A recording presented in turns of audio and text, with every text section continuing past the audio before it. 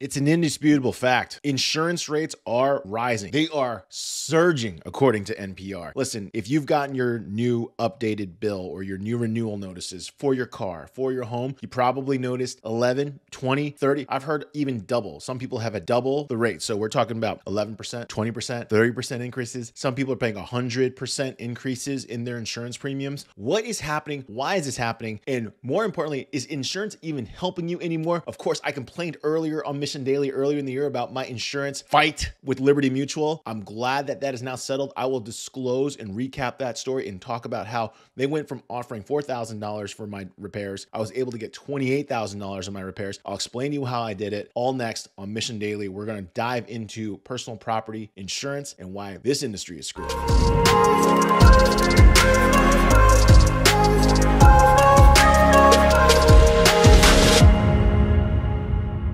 What's up, everybody? It's your boy, Big Al, Mission Daily. Stephanie Postles is not with us today. She is on spring break with her kids, or I guess her kids have spring break and she's going to spend time with them. Whatever. Okay, mom. But I'm happy today because my insurance situation is finally settled. At the top of the show, I talked about how insurance prices are surging. At the same time, they're seemingly doing less to protect you, the customer. So it's a big question of what are we even paying for? But we'll dive into that. Let's recap really quick for you so you can catch up and understand why am I even so hot on this topic to begin with. And I'm going to talk about my townhome. If you remember last year, my townhome started seeing leaking water. It was random leaking water that we could not figure out what it was. My insurance company said, Hey, listen, you are insured for water, but only from the plumbing. So you have to prove it's from the plumbing in order to be covered. So we're talking about hiring plumbers, hiring leak detection companies. Multiple companies came to my, my house to figure this out.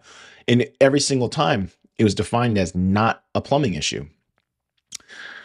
And because they couldn't figure out the source of water, they dubbed it groundwater, which was a colossal mistake on my part for allowing that to happen. And I'll disclose why in just a moment. So, this is what happened.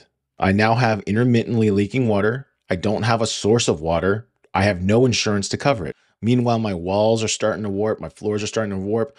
And everyone is telling me the only solution is extremely expensive. I mean, I'm talking about I'm getting quotes into the 40s of thou, 40 plus thousand dollars to fix a townhome that only has 400 square foot on the first floor where all the damage is occurring. Nobody knows what's wrong. So I decide to make a to invest my own dollars into ripping the floor out if I uh, or pull some of the floor out. And when I say ripping the floor out, that's again a mistake I had because that's how I talk.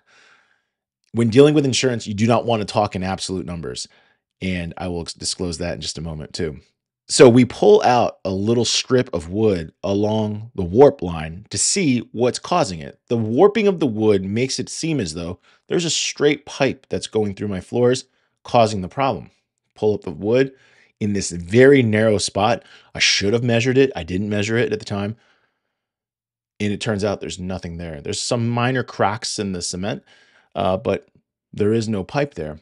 Okay, so they're saying there only can be one thing, and that's groundwater, except the water is inconsistent. So you would think if it's groundwater that when it rains, you would see water come up. And in Maine this past year, past summer specifically, there was a ton of water, ton of rain, but water never leaked into my unit when it rained. It was like intermittent, it was random. So no one could figure it out. Well, fast forward on September 23rd, water starts gushing into my unit. My tenants calls me and we immediately say hey uh, you know we immediately get someone to go look at it the next day. Unfortunately i couldn't get emergency plumbing services. It was a saturday night. The next day water is still coming into my unit. We cannot figure this out. The plumber immediately looks and says this has to be coming. It's not a plumber excuse me the contractor immediately looks and says this has to be coming from the next door neighbor. We have to be able to open that door hoa president is on my side now and they said okay let's we have to get authorization to open this door to figure out what's going on. Turns out it was the water tank in the other unit. It just so happened to break on the 23rd. It was leaking prior to the 23rd, but it was leaking. Interestingly, it broke at the top. Like it started cracking at the top of the water heater. So we had guesses as to, you know, maybe it's during the outline. So as water was used for the shower, it would pull out the top. And every now and then it would leak on the floor, causing some random wetness. But since it wasn't done enough, I, we don't know the answer why it only appeared every now and then, but it only appeared every now and then. That is the water. So now I have a solution. I think, okay, it's my neighbor's water tank. That's been shut off. It gets fixed. And the very next day, so this is Monday, September 25th. Um, on Monday, September 25th, I get a phone call from my neighbor's insurance company, shout out State Farm, that says, Hey, this is our fault. We're taking liability. And at that moment, I'm thinking, Great. I now have an answer to my problem. I understand where all the water's been coming from. We can fix it. I can fix my floors. This is no problem. I was wrong. Very, very wrong. On September 27th, three days now, or four days, depending on four days after the, initial pipe burst. Uh, on the so let's recap. On 923, the water tank officially breaks. On 924, I've identified for the first time. I've properly identified for the first time that is my neighbor's water tank. On 924, also, I submit the claim with my insurance company, Liberty Mutual, who I'm about to smash throughout this entire episode because they sucked. On 924, I submit a claim to Liberty Mutual through their online portal. I can't get an agent on the phone. Their online portal says you are to mitigate water damage immediately. So, mitigation means you should stop it, you got to dry it, and you should fix it because water damage is going to be, it, it's like exponentially worse. The longer it goes, the more damage there is. On Liberty Mutual's website, they have multiple listings of service providers that they recommend. So I call all of them. None of them are able to come in any reasonable time. So I just had my contractor that I always use start the job. All the while, I'm thinking this is great. I'm finally covered and protected because we know the source of water. It's not from the ground, it is from plumbing, it's from my neighbor's plumbing. Like, this is great. 925, the Monday, State Farm calls me and says, it's their fault. Okay, even better. Liberty Mutual, my insurance company, doesn't show up until 927. On 927, by the time 927 had rolled around, I've now called my own contractors. We've now removed the wood flooring completely because it was old wood flooring. And you got to remember it the tank broke on the 23rd. It basically got more than 12 hours of water all over it um, and it damaged it. On 927, the insurance adjuster finally shows up. Her name is Melissa Compton. I'm calling her out. She was nice, but not helpful. She comes to my unit, she takes pictures, doesn't really say much, shows me the report, and moves on. Okay. So then she says, I have to finish up my report and I'll, I'll tell you the next steps. Sounds good. On 927, I'm informed that they, meaning Liberty Mutual, will not be representing me in that I have to file a formal claim with my HOA's insurance because they are the primary they're the primary insurer.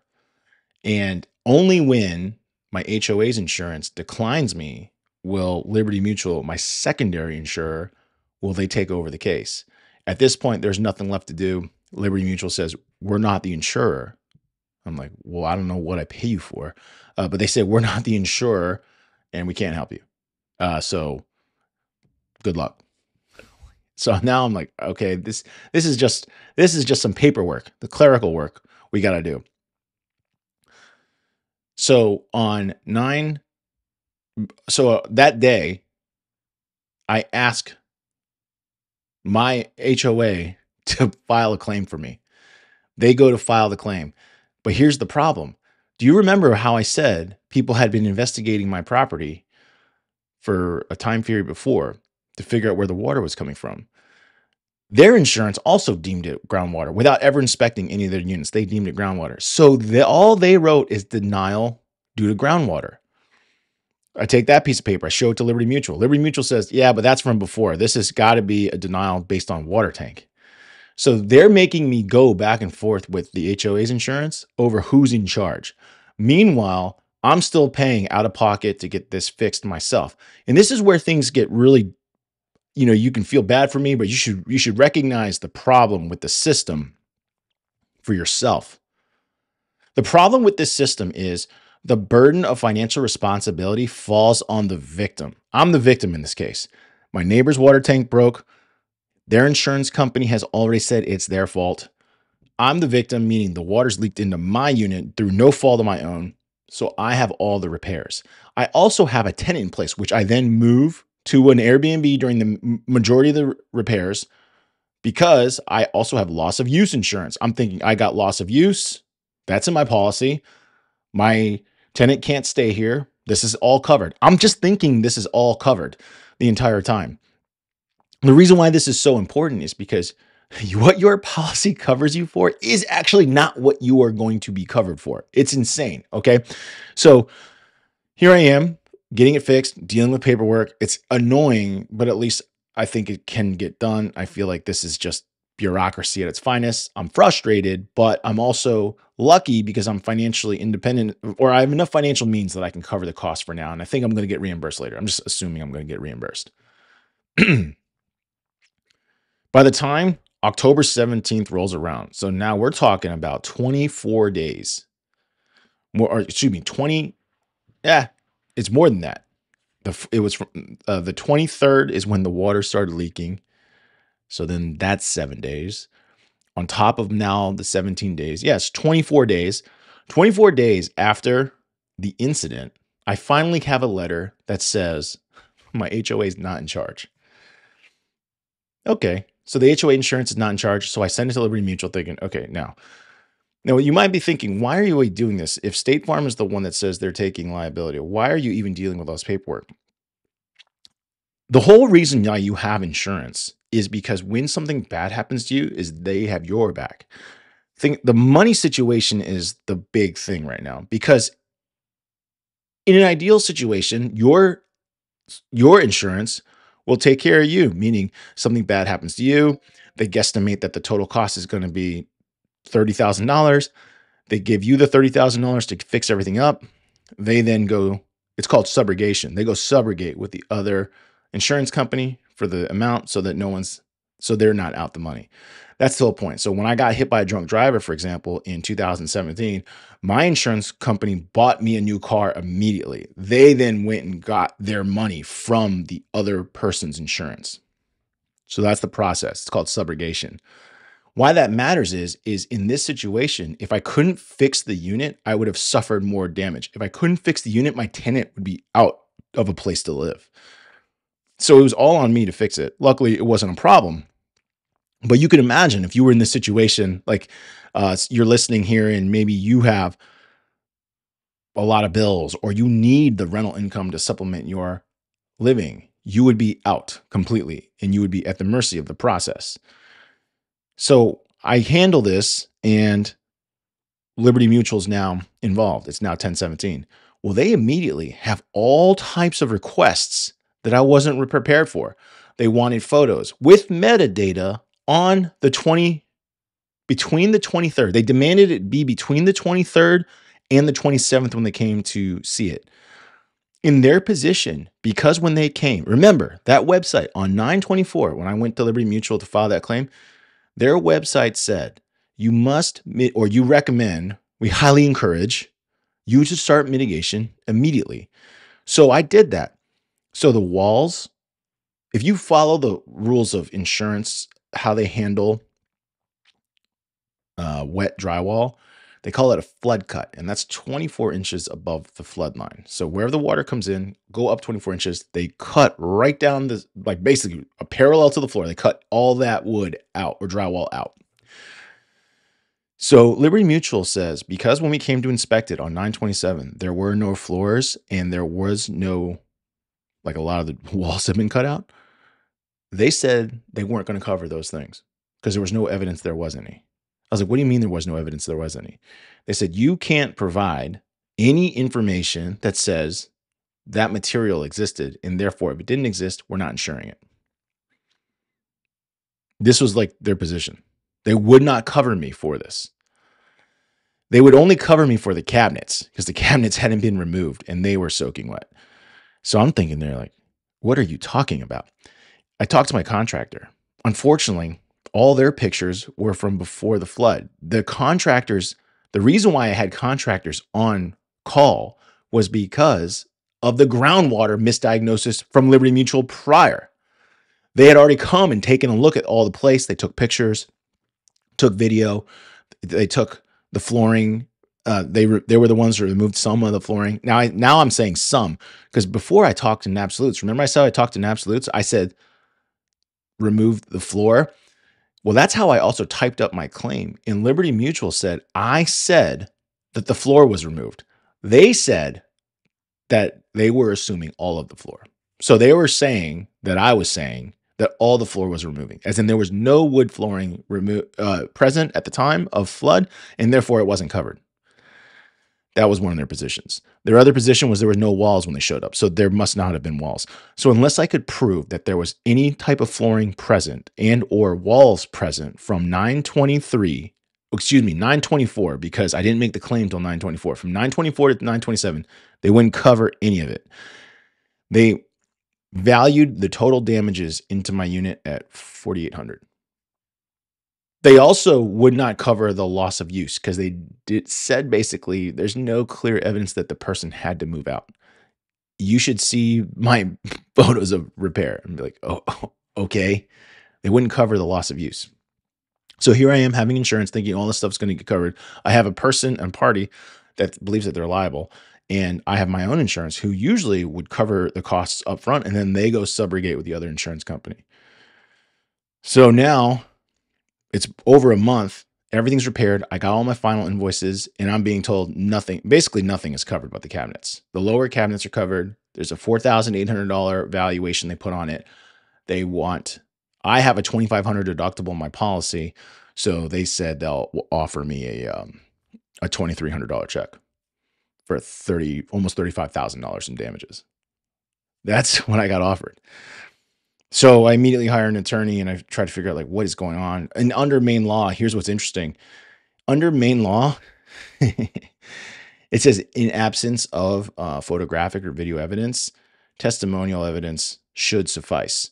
And I had testimonial evidence from my contractors, the HOA president, and uh, my tenant as well as the other insurance adjusters who also got called to this case to represent the HOA that all saw that the flooring, the wood, the, the walls, everything was present.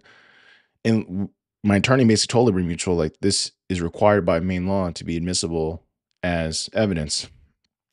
And they said, yeah, it's admissible in the court of law. However, we are not accepting it. And therefore, unless you choose to litigate, we're not recognizing it. So they basically said, unless you sue us, we're not going to accept that as evidence. Well, now I'm, I'm talking to my attorney, like, what am I supposed to do here? And they said, hey, there is a possibility you could lose. Meaning, if I sue Liberty Mutual, my insurance company, who supposed to be representing me, there's still you still might not win. So they would not have to pay anything. And if you did win, you got to pay me. And I did like my attorney for just being straight up with me and being like, hey, listen, you're the idea that you're probably going to make money on this is so low. Um, I don't recommend it. So he was just straight up with me. If I, he's like, if you go forward and sue Liberty Mutual, you're, um, you're SOL. So I just made the decision to, um, to deal directly with State Farm. All the repairs had been in. I had finally had enough of going back and forth with Liberty Mutual. I fully recognized they had no intention of representing me in any sort of in any, way or shape or fashion. They would not accept so much evidence that I submitted. They would not accept any of it because they said the metadata didn't didn't say it was from those dates. So um, a great example is when you have data. So if I send you a photo and you download it from your phone, your computer is going to say it was downloaded that day. It doesn't actually tell you when the uh, the data, the actual file was made. And so we couldn't and my contractors weren't like that burst in technology. Some of them had photos, some of them didn't. I couldn't ever pull together enough evidence that said, yes, with metadata from 924 to 927, I had uh, floors present. So I sucked it up and I said to my attorney, hey, listen, I'm going to go straight to State Farm. Whatever they offer me, I'll just accept and I'm just going to hope for the best. And the only thing I can do is redact my claim. So Liberty Mutual did not settle my claim. And all I can do is share with the world that Liberty Mutual sucks ass, never purchase insurance with them. even me and my business partner have nine properties between us. I per I'll never use Liberty. I would never even consider using them. When I needed them, they did not represent me in any single way. They definitely collected my check, um, but they didn't represent me in any single way. So I went and I said, fine, redact the claim, pull back the claim, rescind the claim, cancel the claim, went to State Farm. State Farm actually was really quick about it. In less than two weeks, they said, we value your claim at $28,000. Now I spent close to 35. I didn't have enough energy left to go back and forth anymore. I said, yes, thank you. Thank you for helping me. And that's that. So, what did I learn during that process? Number one, your insurance company is not representing you in any shape or fashion. They are not there. They make money, well, specifically Liberty Mutual. How they make money, we all sometimes forget, is they they collect premiums and they don't pay. That's their goal. So you got to know that. All right. But here's what I did. Here are some tips I have so that you can better fight. The first thing I'd say is always keep emergency funds on hand. Uh, if you're relying on your insurance to pay you immediately, so for example, if I was desperate for money, I probably would have said yes to that $4,800 right out the gate because I was desperate for money. If I was desperate for money and I needed it, I could have said yes to that and that's it. And then they would have gone and subrogated with State Farm for 4,800 bucks. I would have been reimbursed my deductible later on, but $2,300 check is what I would have gotten. And they'd be like, good luck fixing everything. All right. The next thing, Here's some other more tangible lessons when you're making claims. Number one, do not accept lack of evidence as uh, lack of evidence. Basically, just don't accept it. If there's lack of evidence, there's no conclusion. So my biggest mistake was allowing one of the big mistakes was allowing Liberty Mutual in the summer to even claim it was groundwater. I should have never accepted that. I should have just been like, it's not, well, you can't prove it's groundwater, so why don't dub it groundwater? The reason is groundwater is not covered by most, most people don't know this, is groundwater is not covered by most homeowners insurance. You actually need flood. Flood insurance is separate from your homeowner's insurance. So by them saying it's groundwater, now that was on the record, I had to always prove it wasn't groundwater because once they've deemed it something that is not covered, they would just say it's not covered. So that was a big mistake lack of evidence does not equal conclusion. All right. So we couldn't prove where the water was. Therefore, there should have been no conclusion. That's what I should have forced it as like inconclusive. I could have accepted that, done more testing later on, but I should have never said, okay, it must be groundwater because there was no evidence it was groundwater. There was just no evidence it was from my building, from my unit. That's all the evidence they had. They did not actually know where the water was from. So do not accept lack of evidence. Number two, Everything must be in absolutes or ex- exact measurements. Don't allow the words all or never to enter your vocabulary, all, none. Don't allow it to enter the vocabulary. Don't let it even be assumed. Insurance companies by default jump to like if you say you removed flooring, they'll say you removed all the flooring. They never think to themselves, oh, you removed two by 20, you know, two inches by 23 inches. So if you have material removed, if you have damages identified, if you have an area you're observing, you should bust out your tape measure and measure that and declare with photographic evidence how big or how small something is prior to any type of mitigation, fixing, repair, anything. Everything must be measured. If you are remote, like I was in this case, because I live in North Carolina, Talk to contractors who promise to measure and send photographic evidence in order for you to pay them. I would tie it to pay. For, so I'm not asking for a discount. What I'm saying is I can't pay full price for your repair unless you do this for me. That was a big mistake of mine because that way, at least when they send it to you, like if I send it, if I my if I'm a contract, if my contractor had sent me those photos with the tape measure out on those dates and I uploaded it to cloud, that would show metadata I collected it as late as this moment in time. So, definitely always photographic evidence, definitely exact measurements. Never allow absolutes to enter the equation. Also, do not lack, do not accept lack of evidence as a conclusion. If there's a conclusion, there must be evidence to prove the conclusion. Otherwise, you will be in a forever problem of saying, the the cause of an issue is something else. The next thing, do not accept a lowball subrogation. Okay. So when your insurance company comes to you and offers you whatever amount, what they are saying is they are saying this is all the evidence we confidently feel that we can uh, have collected. This is all that we confidently feel we can get from the other insurance company with the least amount of effort possible. The reality is, insurance companies don't want to be fighting, bickering back and forth as to what claims and what amounts are being settled. So I think they have like unwritten rules that say like, hey, if you provide this, we, we re, uh, reimburse that. If you don't provide this, we don't reimburse that. So they have their rules. So you're just a cog in their machine. So a lowball subrogation offer does not mean that's what your repair is worth. But if you accept it, it's very hard to then go back to the liable insurance company and say there were more damages that were not covered. So if you can, if you feel like your subrogation package is super low, don't accept it. Just be like, no. And that's going to be on you to decide. Having that first thing, which I talked about, which is having enough funds to repair things on your own, makes it easier to then decline a subrogation package. If you're desperate for money, you're desperate for a new car, you're desperate for your house to be repaired, you just won't have that option. You'll be screwed. All right. The next thing, I, final thing I'd like to say is um, definitely get trusted advice. Want to give a big shout out to my business partner, partner Mike Caggiano. Mike uh, does, he's the one that got me into uh, Section 8, the Section 8 business. And he was just a I would say a, a, bunch of knowledge to kind of walk you th- walk me through the process of how I should handle and treat things. I also have a good friend named Travis Edmonds. He works with Williams Realty. He's a construction project manager. He was able to quickly, when I was to tell him quotes in the repair, he was very able to quickly be like, "That sounds too much. That sounds too high." He always he didn't know the exact pricing of anything, but he always could kind of ballpark what it would take to fix something like that. He couldn't tell me the exact price because he's not in Maine. Um, but he was a huge help too for me to not get screwed over by contractors and possibly overbuild to the point where none of that would have been reimbursed. Because that is also a problem. If you are fixing or choosing your own repair company and they overfix it, that won't be covered either. What's going to be covered is what your insurance company values something at. And that's it.